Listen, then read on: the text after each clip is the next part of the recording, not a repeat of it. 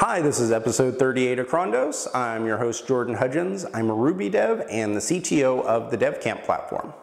It's the middle of the week, and on Wednesdays, I like to cover a random development topic. And today, I'm going to discuss a slightly odd question of, is writing bad code immoral?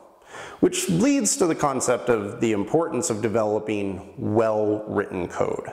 This may seem like a weird question to ask because the mindset of most developers is probably that code projects are neither moral or immoral. They're simply files of programming that perform various functionalities. I'd like to think that most developers take pride in their work and therefore want to write code that adheres to best practices.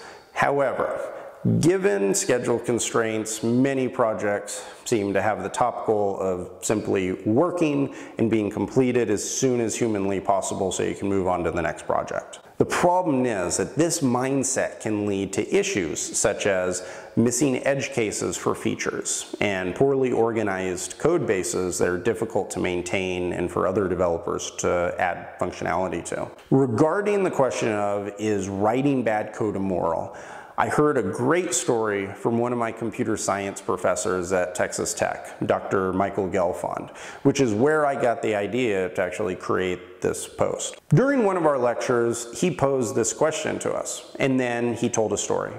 A few decades ago, when he was a programmer working for a software organization, he ran into a nasty code bug. It took him several days to figure out that the previous developer had built a poorly constructed function that was causing the module that he was working on to break.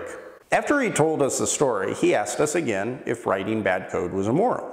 Most of the class answered that it wasn't, but then he asked if we murder someone a few days before they were going to die, is that immoral? To which everyone answered with a unanimous yes. He finished his lecture by saying, well, wasn't it immoral that the last developer's code stole two days away from my life? He makes a pretty valid point. The story and the question have stuck with me for years, and now my answer to the question, is writing bad code immoral, is a resounding yes. As developers, we should take pride in the work that we produce, not just for our clients or employees' interests, but simply due to the fact that our goal should be to be craftsmen in everything that we do.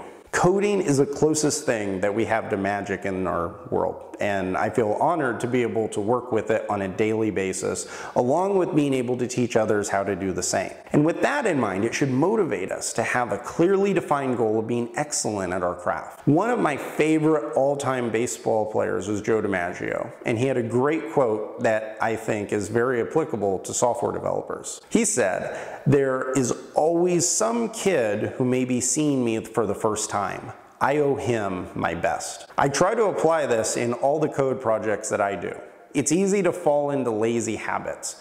However, then I remind myself that someone might be looking at this project or this tutorial and it could be the first impression that they have about me as a developer and also about programming in general. And if I take shortcuts, even if the application works, it could reflect badly on the work that I do and the languages I work with. This doesn't mean that you can't make mistakes, quite the opposite.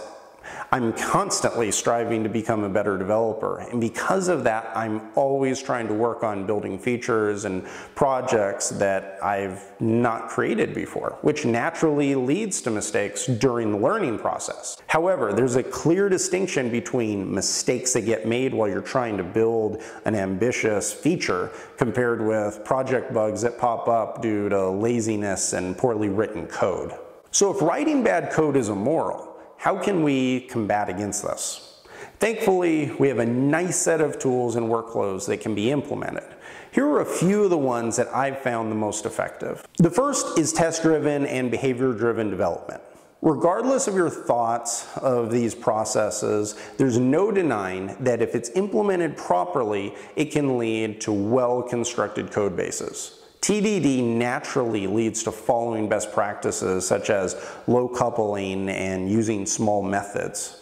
And with its refactoring step, I'm a huge fan of using it to ensure that an application is built the right way. Another helpful tool is continuous integration tools. Assuming that you have a comprehensive automated test suite, continuous integration tools such as CodeShip or Travis will make sure that your code will not be pushed to production until all of the tests pass.